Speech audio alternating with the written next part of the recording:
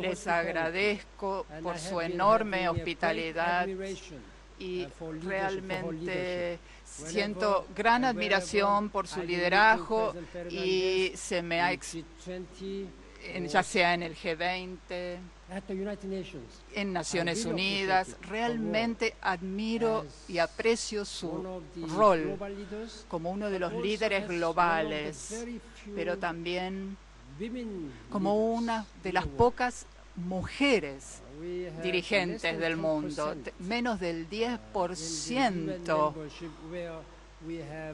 de países miembros de las Naciones Unidas tiene dirigentes mujeres. Así que debemos agradecer realmente este empoderamiento de la mujer.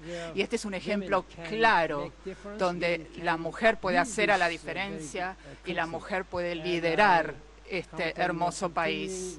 y cuento con su liderazgo continuo y también le deseo el mayor de los éxitos. Y estoy seguro que la Argentina, bajo su gran liderazgo, tendrá mayor prosperidad y tendrá madurez democrática, promoviendo también los derechos humanos.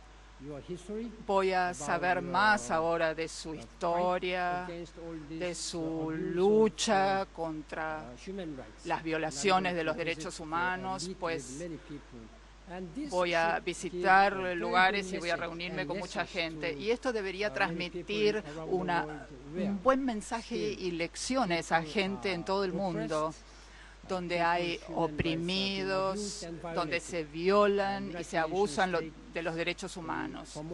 Las Naciones Unidas considera la promoción y protección de los derechos humanos sin tener en cuenta grupos étnicos, etarios, razas, religiones. Los derechos humanos son un derecho fundamental de cualquier ser humano. Le agradezco y cuento con su liderazgo, señora presidenta. Muchas gracias.